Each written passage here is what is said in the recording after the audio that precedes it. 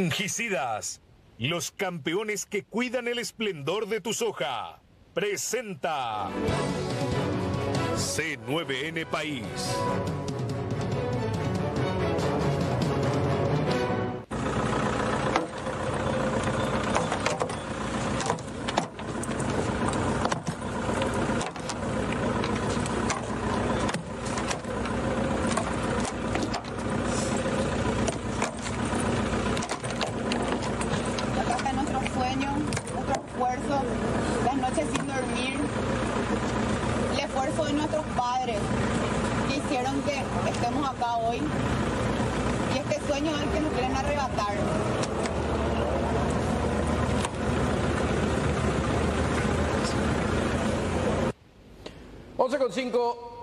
Este tema tiene que ver con los jóvenes que fueron despedidos de Itipú, siguen clamando por justicia.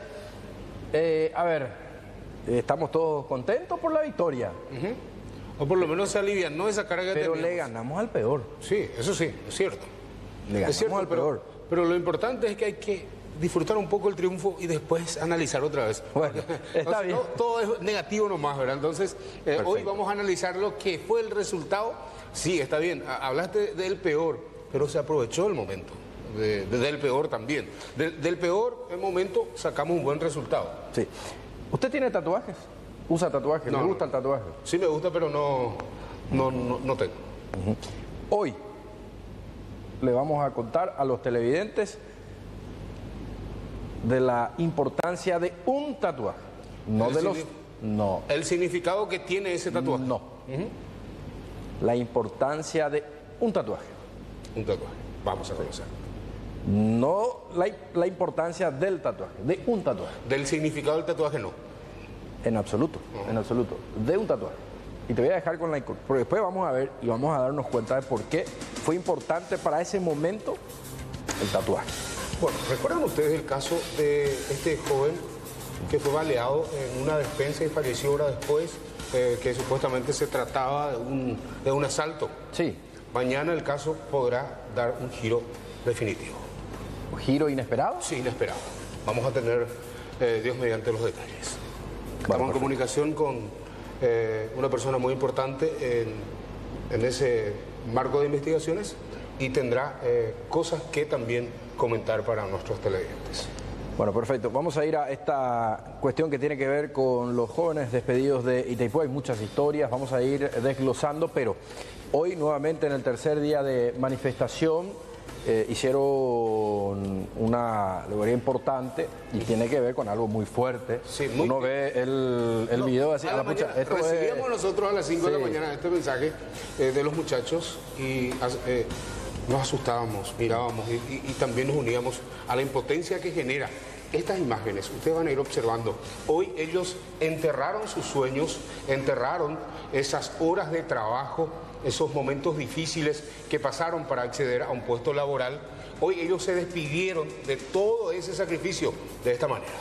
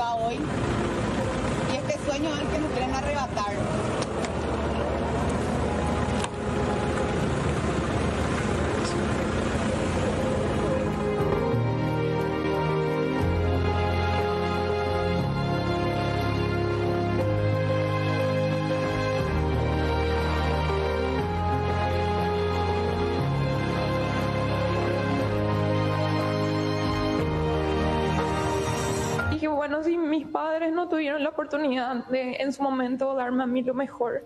Yo quiero ser esa hermana que le pueda dar esa oportunidad a mis hermanas, que ellas no pasen lo que yo había pasado.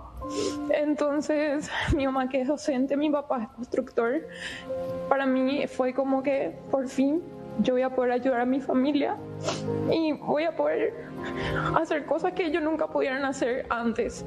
Entonces, más que nada, yo no solamente hablo por mis compañeros, yo hablo por los jóvenes paraguayos que piensan, bueno, la única solución hoy en día es salir del país.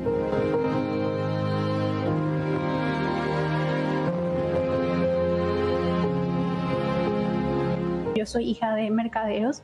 Mi mamá tiene una pequeña tienda de ropa donde vende medias, ropa interior en el mercado. Mi papá vende remedios yuyos. Vende remedios yuyos, estaciona vehículos y con eso se ganaba en el pan del día a día. Yo pude estudiar eh, gracias a una beca también. Eh, yo fui medalla de oro en la época del colegio. Me recibí de bioquímica concursé por el puesto especialista en gestión de prestaciones de salud. Gané el concurso. Quería comentarle cómo fue todo este trayecto. Fue bastante sacrificado. 217 postulantes para un solo cargo. Eh, eh, pasamos por todas las pruebas y, fueron noches sin dormir, eh, mucho estudio, muchas noches de ansiedad esperando a que el dichoso mensaje para saber si continuábamos con el proceso. Exactamente. Y hoy estamos así, eh, en la calle prácticamente.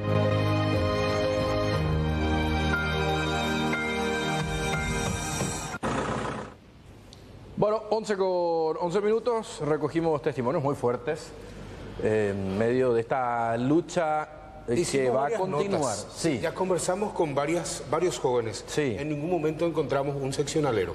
Encontramos a personas que estudiaron, que eh, tienen títulos, eh, tienen especialidades, se prepararon, jóvenes con muchos sueños de poder quedarse en el país y brindar todo su conocimiento. Y también eh, con quienes hablamos, vemos una familia detrás de todas estas personas que están clamando por justicia.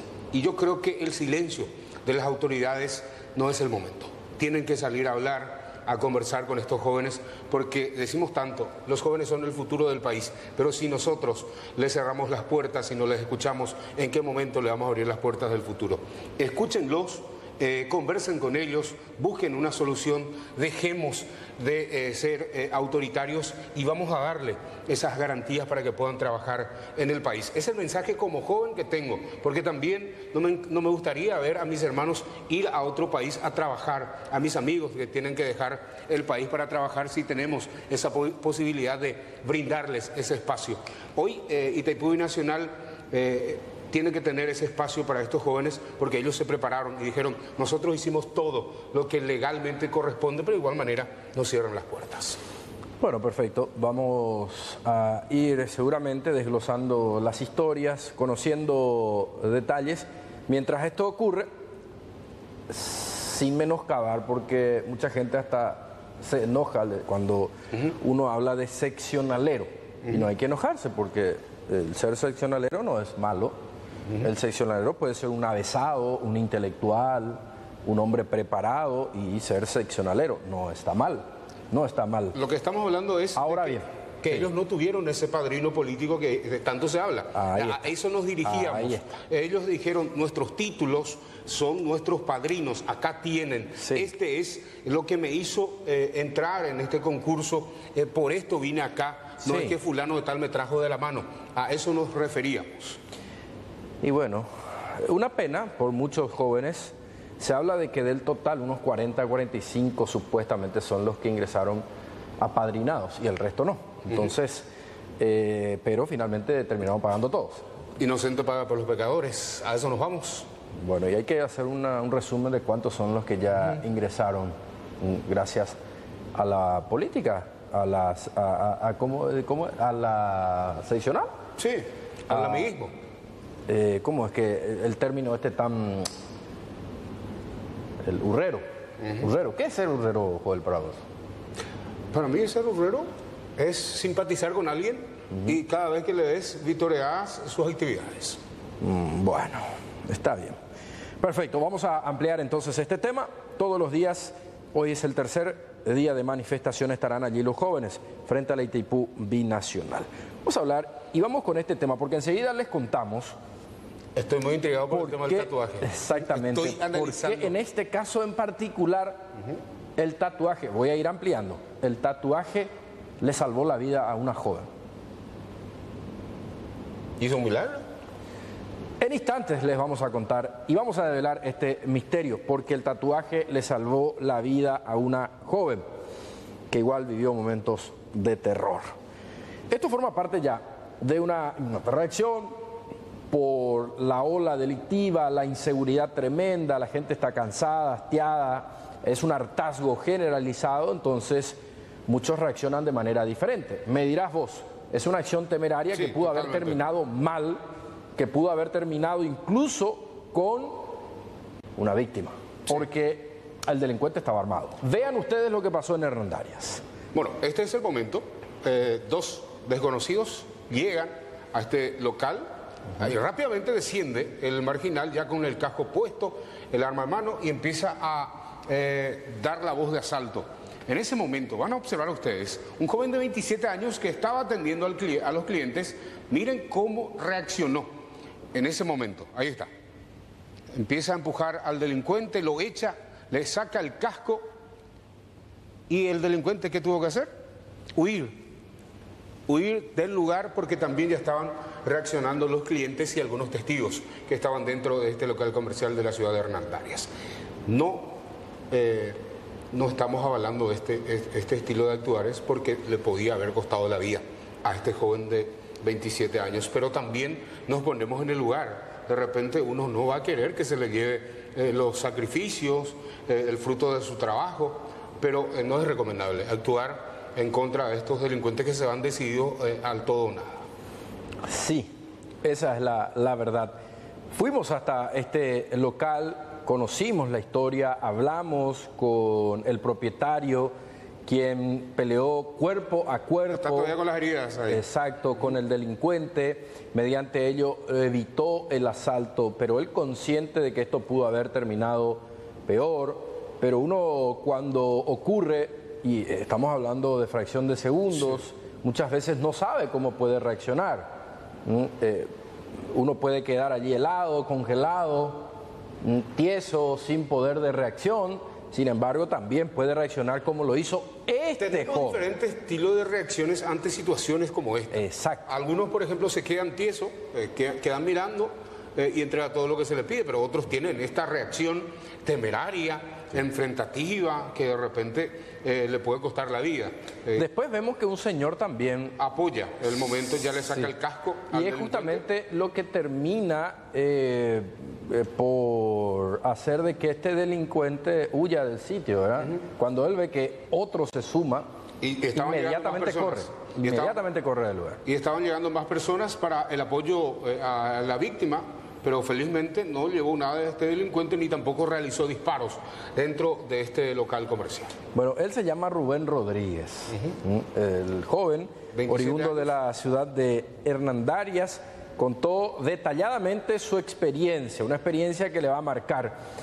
Y ahora va a, a- a ver, va a vivir con esto, miren cómo quedó la pierna, va a vivir con esto, ¿no? De recordar este momento complicado, más aún cuando ve, ve y ve y revé las imágenes del circuito cerrado. Afortunadamente ahí cerca no se ve al menos a criaturas que son las que generalmente terminan traumatizadas, un trauma eh, largo que incluso después con un tratamiento se debe eh, de acoger entonces, eh, más allá de la peligrosidad y de la acción temeraria, hay que hablar evidentemente del hartazgo ciudadano que va generando reacciones. Este Vamos a apoyo- escucharlo.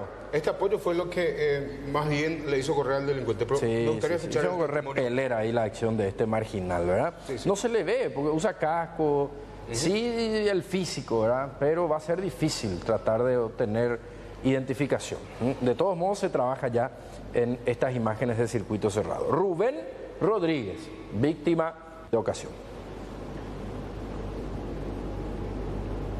Y a la mañana nosotros abrimos, eh, ponerle que a las 7 y 50 por ahí. Abrimos, vino un cliente y yo le dije al cliente que pase en la carnicería, me pidió algo.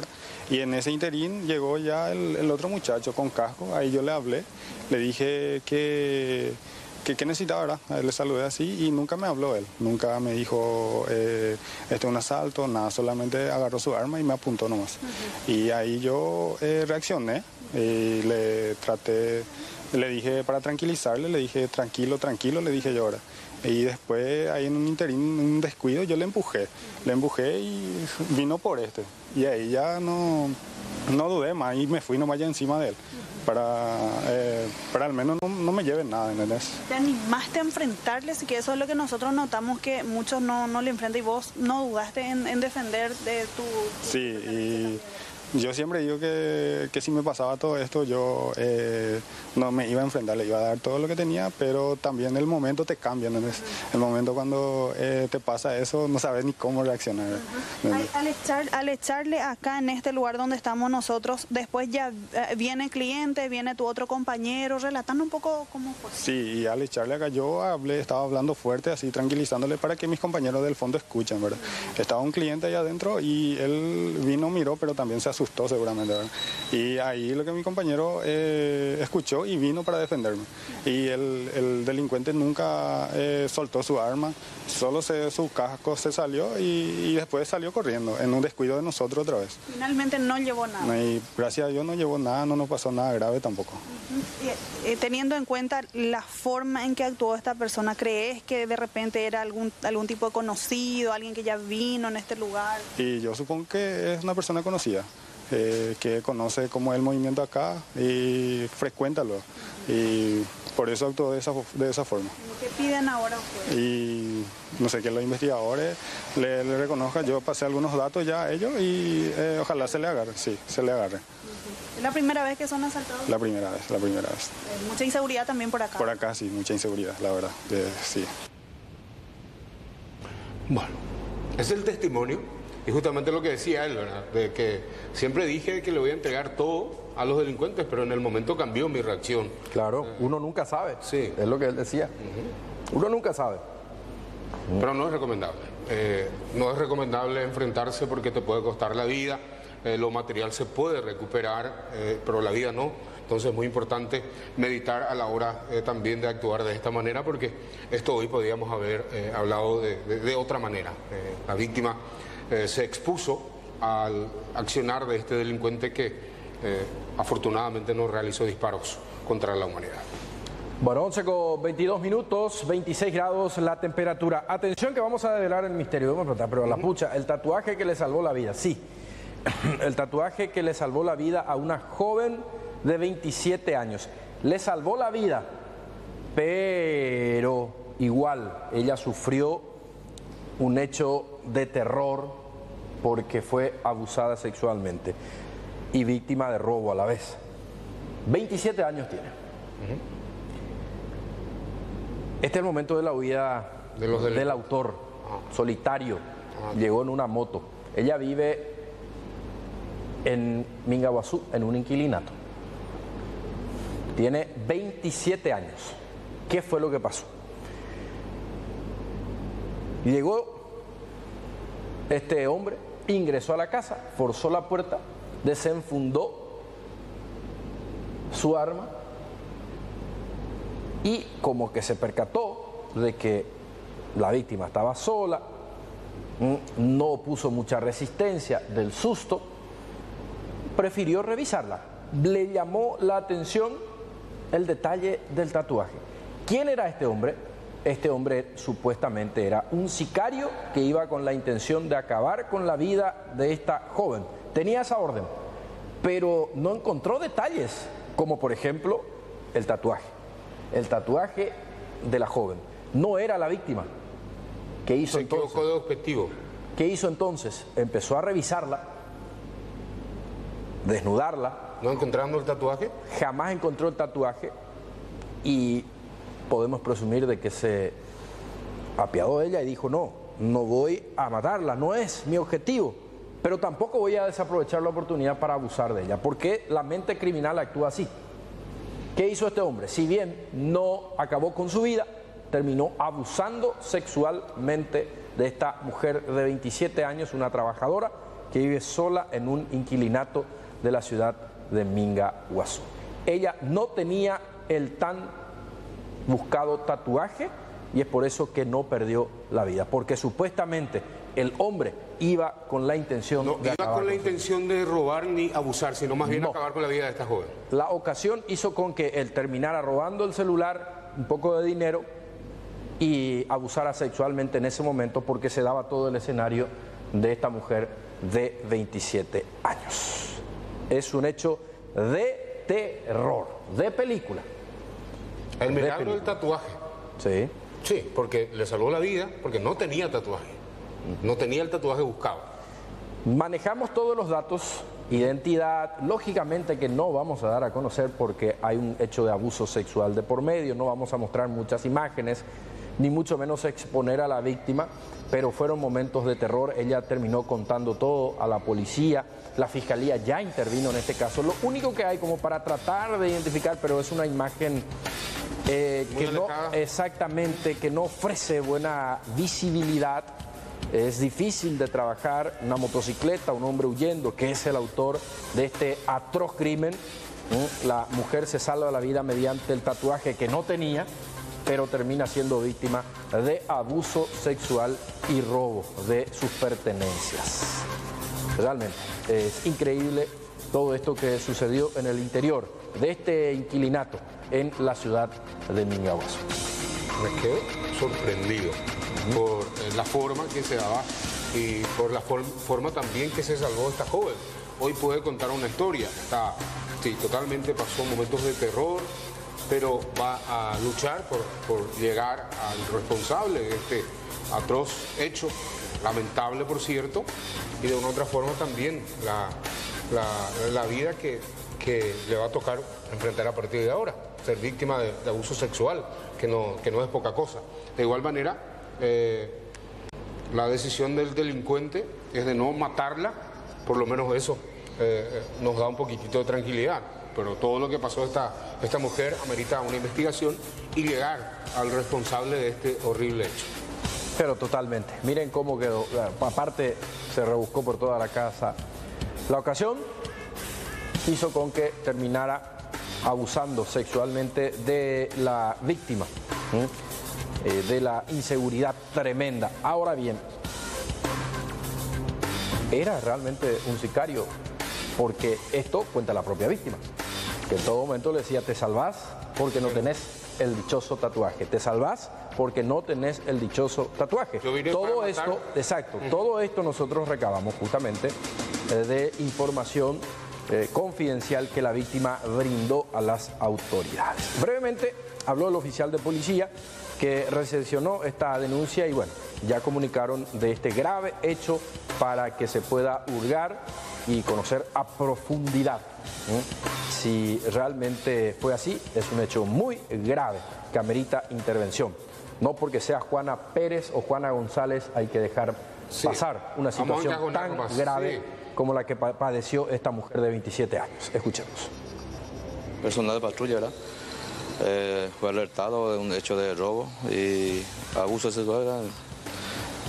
Eh, ahí se apersonó personal de patrulla hasta el barrio San Antonio, 4.000 metros aproximadamente de la ruta, donde dialogaron con la víctima, quien se encontraba sola en la vivienda en el momento del hecho. ¿Qué dijo ella? Eh, ¿Esta persona forzó la puerta, ingresó? ¿Qué, ¿Cómo fue que ocurrió? Sí, eh, según la misma estaba acostada descansando, ¿verdad? En un momento escuchó ruido proveniente de, de hacia afuera de la casa. Ahí ya eh, una persona del género masculino, ¿verdad? Abrió la puerta con un arma blanca, cuchillo en mano, ya le prestó, obligándola a que permanezca acostada, ¿verdad? Ahí, según la misma, le maniató, le- poniéndole boca abajo, donde le manoseó y se produjo el hecho del abuso, ¿verdad? ¿Qué le dijo el, el- el- el autor, en este caso a ella, según menciona? Y en todo momento que se quede quieta. Y ahí, cuando todo, o sea, ocurrió todo el hecho, y se apoderó de su celular, cargador, un auricular y se dio la fuga, según la misma, a bordo de una motocicleta, lo que ella escuchó. Referente a lo que mencionó la víctima de un tatuaje, ¿qué fue lo que escuchó que le dijo? Según la víctima, ¿verdad? le dijo que estaba buscando tatuajes que le mandaron para matarla. Así dijo la, en su denuncia. Después ella eh, retornó nuevamente a su lugar de donde ella vive también en Vaquería. Sí, hacia acá Aguazú. Declaró todo ya en la fiscalía y estamos en persecución del hecho, estamos en la investigación. Hay circuito cerrado, pero no se observa el momento del hecho. Sí, efectivamente. Ya queda ya el otro lado de la casa ya. ¿Por qué creen que podría tratarse de esa persona el que va en la moto? Estamos en eso. La fiscalía tiene ya todos los datos y estamos cote- cotejando, ¿verdad?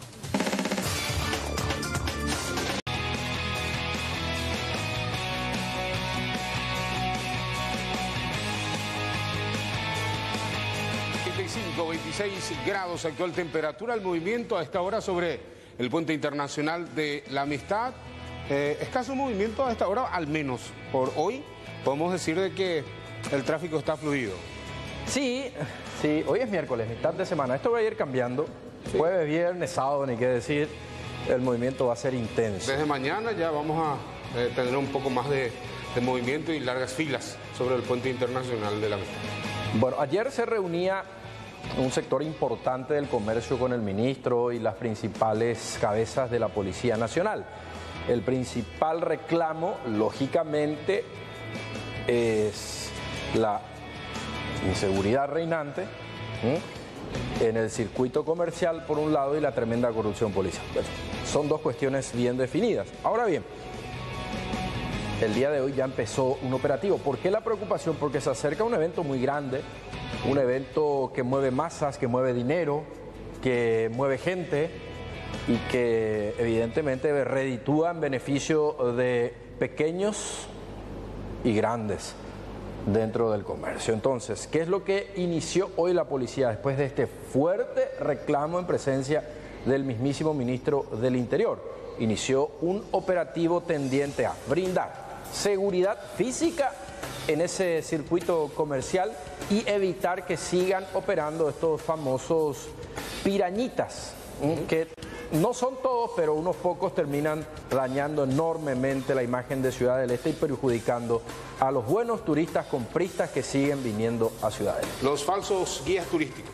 Eh, a eso nos referíamos al hablar de pirañitas, justamente, y el director de policía acompañó este eh, trabajo y hablaba justamente que es un operativo que va a continuar eh, dentro del centro eh, de Ciudad del Este para poder hacer frente también a esta situación porque hay varias víctimas, eh, varios turistas ya fueron asaltados y engañados por estos delincuentes que fungen ser guías directamente para llevar a las víctimas hasta la boca del lobo. Vamos a escuchar parte de lo que él refería sobre este operativo. A partir de este momento estamos implementando un operativo de mm, proximidad entre la policía y la comunidad. Y en otro sentido, el de fortalecer la seguridad en el microcentro de Ciudad del Este, porque es una de las zonas más sensibles. Y ayer nomás en la reunión que tuvimos en la gobernación con, los, con las fuerzas vivas, recibimos algunas quejas de que no se le veía al policía en el microcentro de esta ciudad. Entonces, desde este momento, desde esta mañana, estamos llenando prácticamente las calles del microcentro de policía y es más, el personal tiene instrucciones de hacer una presencia activa, de saludarle a los a las personas que acuden hasta hasta el policía. ¿Esto va a ser en forma permanente, comisario, o se hace ya con mira a esta feria tradicional de Black Friday que pidieron también los comerciantes? No, esto se va a hacer cada día y en esos días de fiesta del comercio vamos a reforzar al 100% y el personal va a tener que trabajar también al 100% en esos días. Y supuestos o falsos comerciantes estafadores es la principal preocupación. ¿Cómo combatir eso? Sí, sinceramente ese problema estamos acarreando de hace un buen tiempo y es una lucha constante, ¿verdad? Les cuento que yo como director de policía tuvimos que tomar algunas determinaciones drásticas, como cambiarle al jefe y al subjefe de la comisaría primera y muchos personales que de una u otra forma no estaban haciendo en forma su trabajo. Le cambiamos al jefe y al subjefe de la policía turística y otros policías que integraban ese cuadro. Ahora tenemos, en este momento tenemos nuevos líderes de la policía en, el microcentro de Ciudad del Este. Estamos insistiendo, como les dije, es una lucha constante porque también la policía no está haciendo solo ese trabajo, tiene que estar, la policía tiene que estar acompañada de, del Ministerio Público, del denunciante, de los comerciantes inclusive, inclusive, que en algunos casos son los mismos quienes están estafando a los turistas. Bueno, eh, veremos qué resultado eh, también eh, conlleva este operativo, porque sería importante sacar de circulación a aquellas personas que fungen ser guías para justamente asaltar a los pocos turistas que se atreven a cruzar la frontera. Escuchábamos una parte tajante, cambiamos al jefe y al subjefe de una, de una comisaría y también del departamento de la dirección turística de la Policía Nacional. Sí. Porque no hacían bien su trabajo. Era el término del director de policía. Bueno. Minuto de silencio. No, no, no. eh, es que. eh, Llevamos es años coincidente nomás con la reunión de ayer. Si bien él dice, no, este operativo Va a continuar todos los días. Vamos a hacerlo todos los días. No, no, no. Hoy desplegaron eh, efectivos del Grupo Especial de Operaciones, GEO, desplegaron a los linces y otras dependencias para abarcar todo el microcentro. No se olviden de este grave hecho, que no se aclaró aún, por cierto, del robo de 4 millones de dólares, de 4 millones de dólares, de celulares, por valor de 4 millones en realidad. Hasta el momento de que los salieron autores, como si nada de un edificio céntrico. de los autores nada se sabe. Se quedó ahí. Si bien se hizo operativos, dos personas detenidas, los supuestos brazos logísticos y los autores. Si teníamos datos, nombres, ¿dónde están? ¿Por qué te llamas a silencio? No, pero pregunto, ¿dónde están? En realidad, ¿dónde están? Eh, ¿Cómo avanzan las investigaciones con relación a ese millonario robo en el corazón del centro eh, comercial más importante del país, que es Ciudad del Este? No podemos quedarnos callados y mirando y que los delincuentes se sigan paseando, asaltando, perjudicando y dejando tremendos daños a, a las personas que van trabajando y, e invirtiendo aquí en el país. Hay que garantizar y seguir eh, hablando de inseguridad todos los días. Bueno, 11 con 42 minutos, 26 grados la temperatura actualmente. Cambiamos de tema. Tercer día de manifestaciones frente a las oficinas administrativas de Itipú en el kilómetro 3 y medio. Bueno, en esta oportunidad en la eh, dirección central de la ITPU Ah, hoy, fueron, frente- hoy, hoy migraron Sí, hoy sí ya hicieron frente a la ITPU Nacional, a la barrera. en la barrera, conocida barrera, por cierto, es allí donde ellos también dejaron nuevamente su voz ¿Cuándo fue que estuvieron frente a la oficina Ayer, administrativa ayer. kilómetro 3 y medio? En Ayer. el segundo día. En el segundo día, el tercer día Esto se ya trasladaron corresponde al tercer día, hoy. Sí, y ellos Hicieron una sentata. manejaban las informaciones de que eh, parte del directorio, eh, altos mandos de ITPU Nacional, hoy se iban a reunir de manera presencial. Por ello se hizo esa manifestación en el lugar, pero eh, según lo que ellos recibieron como datos, que la reunión se hizo de manera virtual. Mira un poco ahí este chico con sus dos hijos Sí. en brazos. Y vamos a escuchar, él dejaba su testimonio. Eh, nos decía de que, de que él desea poder dar un buen pasar a sus hijos y familiares y que ahora se le está negando la oportunidad y necesita una explicación por parte de las autoridades. Específicamente hoy se dirigieron al presidente de la República para que sean escuchados en sus reclamos y vamos a compartir parte de la nota de las personas que estuvieron desde tempranas horas en el lugar. Es una pena ver todo este movimiento y tan siquiera que le llamen los representantes de los, de los jóvenes, de los postulantes, que hablen y que revisen caso por caso, eh, que vean documento por documento. Eso es lo que están exigiendo estos jóvenes y los padres los estamos acompañando y vamos a acompañarlos hasta el último momento como familia. Todos los que estamos acá ingresamos por méritos propios. Todos los que estamos acá queremos una revisión caso por caso de, esta situación. Así como todos mis compañeros, yo también dejé casi todo allá en Asunción para moverme acá. Eh, dejé todo lo que tenía, dejé un trabajo bastante estable también. Y eh, algo que quiero recalcar un poquitito es eh, una mentira que está instalando el director de la ITPUI Nacional, Justo Zacarías, que está diciendo que la Facultad de Ingeniería eligió a cinco docentes para estar acá. Eso es mentira. Yo también soy docente de la Facultad de Ingeniería de la Universidad Nacional de Asunción y todos los, eh, los, docentes que estamos acá somos de categoría especial. ¿Qué quiere decir eso? Que no es que somos parte del plantel permanente de los docentes. Nosotros somos categoría especial, auxiliares de cátedra, docentes técnicos, laboratoristas. Es decir, que nosotros una vez que termina un semestre o termina un año, nuestro vínculo con la Fiona termina también. Y nosotros cada semestre o cada año tenemos que volver a concursar por esos puestos. Y eso es mentira. ¿Cómo, cómo acaso un docente del eslabón más bajo va a tener tanto poder como para amañar un concurso? Eso es mentira, señor Justo Zacarías. Estoy en una situación vulnerable, como podrán ver. Chicos. El mayor tiene trastorno de espectro autista, eh, tiene TEA. Está enfermito. Y era, era nuestra esperanza el poder estar acá. Hay lugares donde le pueden tratar. Eh, tenemos la esperanza de poder hacer eso y eh, salir adelante, ¿verdad? poder salir de ese caso, ¿verdad? ayudarle a mis hijos, a los dos, mi señora, poder estar bien, tener una vida digna. Y a los dos meses nos arrebataron ese, toda esa esperanza, ese sueño.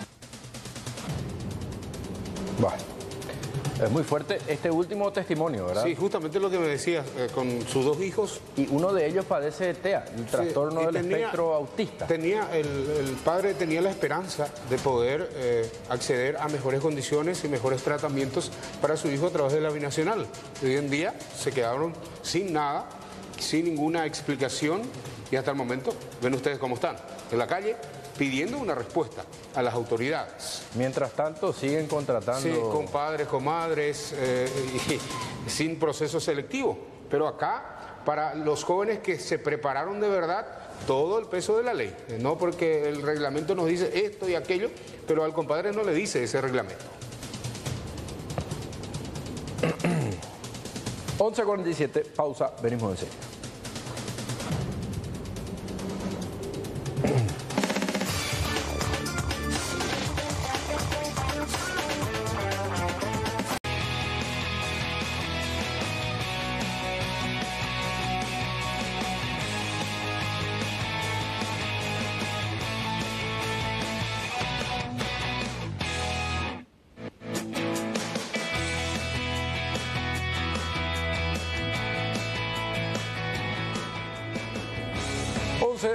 51 minutos, 26 grados la temperatura actualmente. Sí. ¿Qué pasa? Estoy mirando nomás el movimiento del centro ciudad. No, y el movimiento es normal, tranquilo. Eh, a ver, los miércoles generalmente se presenta así el panorama. Es así. Entre la pausa recibimos varios mensajes de gente que, que, están opinando por la situación de estos jóvenes y me quedé pensando en todo lo que nos decían también los familiares y algunos conocidos de estos muchachos que están allí en la barrera de la Pinación. Hay mucha indignación en el país. Bueno. 11 con 52 minutos, vamos a cambiar de tema. Investigan un grave caso de abuso sexual en niños. Cinco años. Cinco años, cada vez estamos eh, peor en ese sentido, lastimosamente. Hay mucha gente enferma que comete atrocidades y lo más grave de todo es que generalmente es el entorno. Es más si no es familiar, es un entorno así muy cercano, de amistad. el amigo de papá, el amigo de, ma- de que es mamá. justamente sí. el caso en particular. Vamos a escuchar los detalles de esta investigación. Un niño del Alto Paraná, cinco años. Se investiga el hecho. A ver. Sí, en este caso ya es una persona detenida porque ya obra sobre él una orden del Ministerio Público para su privación de libertad. El día sábado eh, ocurrió este hecho, supuestamente ocurrió en el kilómetro 11 en una cancha de piquibole en donde el padre del niño de 5 años y el ahora detenido estaban jugando juntos piquibole y luego de terminado el juego ellos prepararon eh, un niña canguelú, como se dice, ¿verdad? que iban a, iban a preparar ya que el supuesto autor ayer fue su cumpleaños iban a compartir en el mismo lugar también.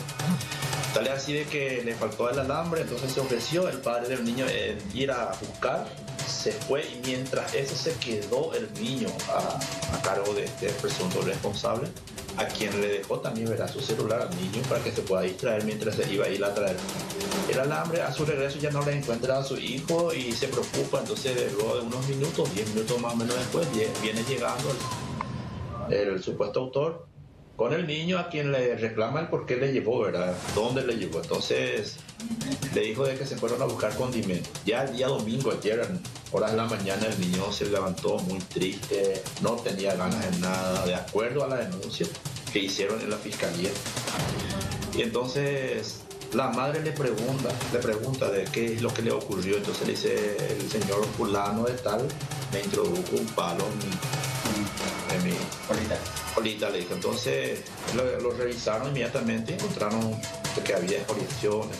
Inmediatamente lo llevaron hasta el Ministerio Público, donde ayer a las 15 y 6 horas aproximadamente se hizo la denuncia. Y ya en hora de la tardecita, anoche, se pusieron en contacto conmigo la gente de la Fiscalía para poder coordinar este procedimiento.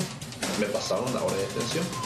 Y esta mañana a 5 y media, 6 de la mañana, nosotros en un vehículo particular que es de mi propiedad, nos fuimos ya a montar un servicio de vigilancia prácticamente en, alrededor de su- lugar de trabajo, lo que sabíamos perfectamente, ¿verdad?